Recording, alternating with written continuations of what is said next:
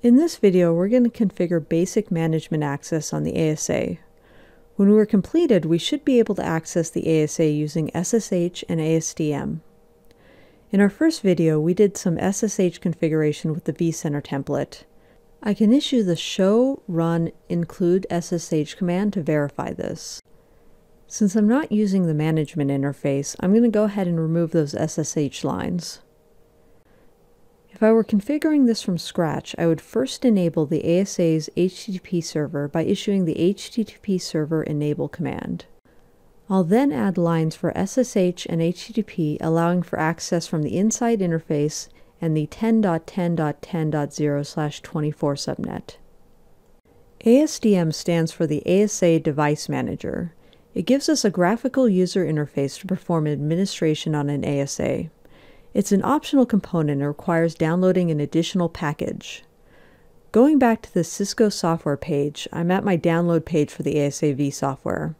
I'm going to click back on the browser and I'll find a link for the ASDM packages here. I'll go ahead and just download the most up-to-date package. On this computer I have a TFTP server running, so once this ASDM bin file is downloaded, I'll move it into the TFTP root folder and then I'll make sure that the TFTP server is running. Now that that's done, let's swing back to the ASA command line. We're going to use the copy TFTP flash command to copy this file from the computer over to the ASA.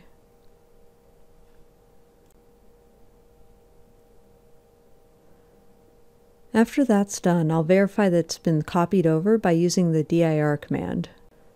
Now I need to let the ASA know which ASDM image to use. I'll do so by issuing the ASDM image command with the local path of the ASDM image.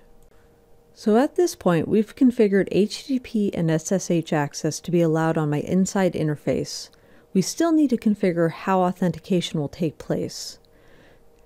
I'm going to use the local identity store so to do so, I'll issue the AAA Authentication HTTP Console Local and the AAA Authentication SSH Console Local commands.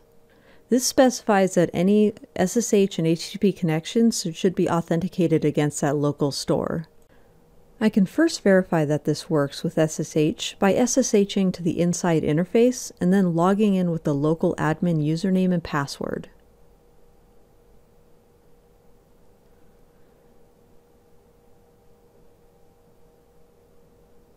So it looks like it works, so let's go ahead and verify that the HTTP server is running and ASDM is accessible. We'll do that by navigating to the inside interface with my browser.